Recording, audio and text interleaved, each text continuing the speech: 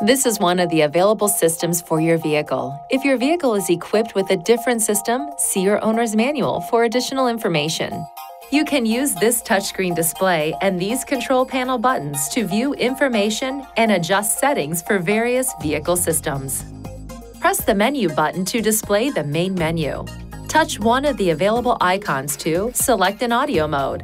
Access your Bluetooth connected phone connect to a Bluetooth or USB device, or adjust settings for a variety of vehicle features.